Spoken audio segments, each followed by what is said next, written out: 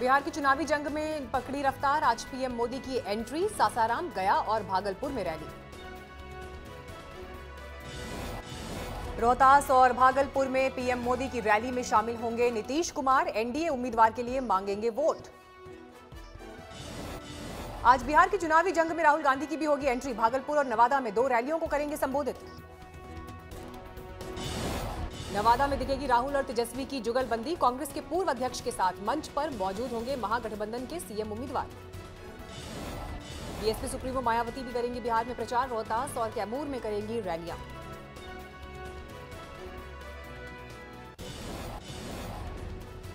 बिहार के चुनावी बाज़ार में खुला वादों का पिटारा, बीजेपी ने जारी किया पार्टी का विजन डॉक्यूमेंट।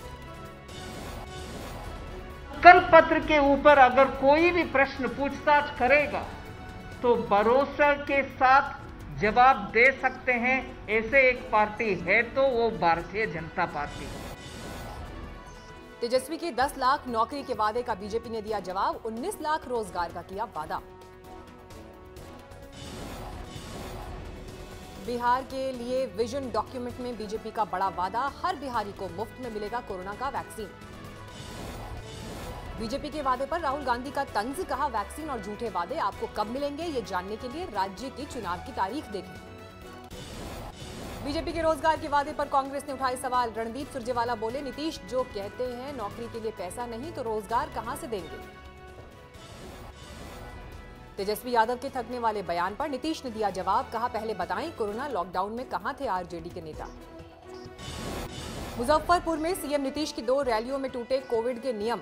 न दूरी दिखी और न ही चेहरों पर मास्क। लालू ने एनडीए पर फिर साधा निशाना, ट्वीट किया नया पोस्टर, नीतीश को बताया मौका मंत्री और सुशील मोदी को बताया धोखा मंत्री। कैमूर ज़िले के रामगढ़ में प्लूरल्स पार्टी की अध्यक्ष पुष्पम प्रिया चौधरी ने किया रोड शो। नुआओं की रैली में बोली, मैं तमाशा तमाशा करने के लिए नहीं आई बिहार वासियों को आठ लाख सरकारी और 80 लाख प्राइवेट नौकरी देने आई हूँ। पटना में कांग्रेस दफ्तर पर इनकम टैक्स का छापा, गाड़ी से 8 लाख रुपए मिलने का दावा, शक्ति सिंह गोहिल और सुरजेवाला से भी हुई पूछताछ, कांग्रेस ने बताया साजिश।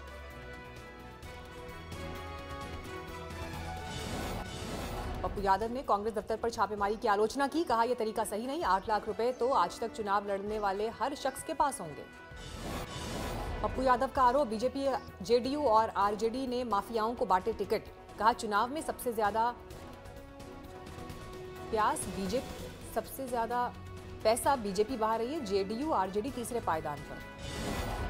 बिहार में बीजेपी के घोषणा पत्र में मुफ़्त वैक्सीन के वादे पर भड़की शिवसेना। कहा यह वादा नौकरी के वादे से अलग, ये कुछ इसी तरह कि तुम मुझे वोट दो, मैं तुम्हें वैक्सीन दूँगा। घोषणा मैं देख रहा हूँ। तुम मुझे वोट दो हम तुम्हें वैक्सीन देंगे।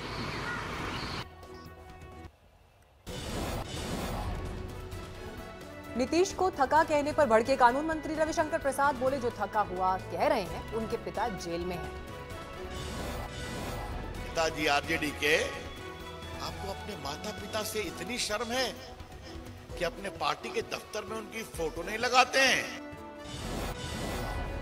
हाजीपुर में आरजेडी नेता का साइकिल से प्रचार, गांव-गांव जाकर कर रहे हैं गुहार। मुरैना में कमलनाथ को लेकर बीजेपी उम्मीदवार की धमकी, बोले भिंड मुरैना में इमरती को आइटम कहा होता तो?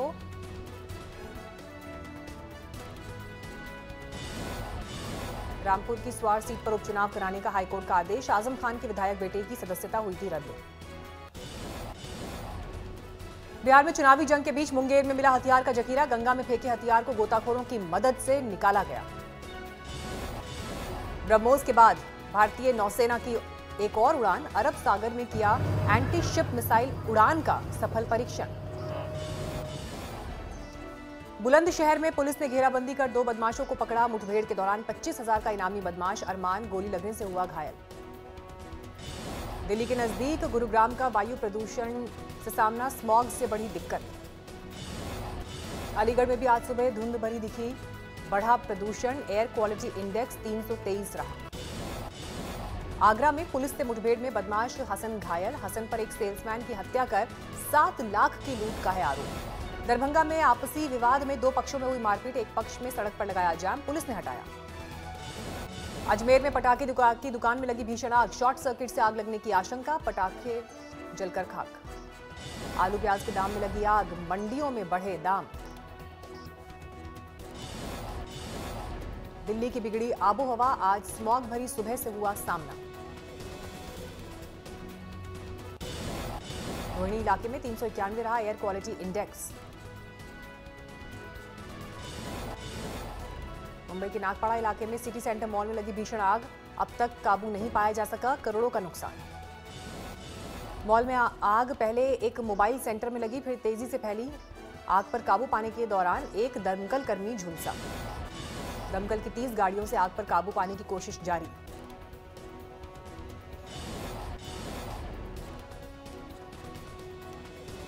रात आठ बजे मॉल में लगी आग। धुआँ भरते ही पूरे मॉल को खाली कराया गया।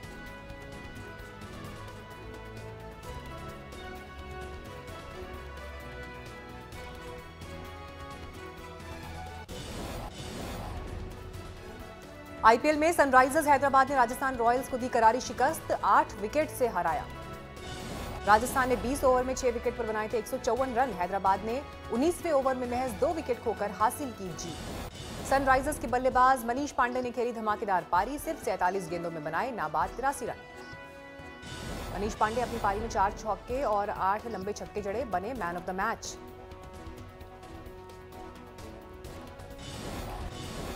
Vijay Shankar ने मनीष पांडे का बखूबी निभाया साथ, इक्यावन गेंदों पर बावन रन बनाकर नाबाद लौटे।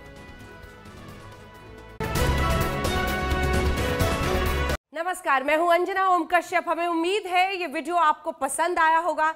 लेटेस्ट खबरों के लिए यूँ ही देखते रहिए आज तक और इस वीडियो के पसंद आने पर लाइक शेयर एंड सब्सक्राइब करना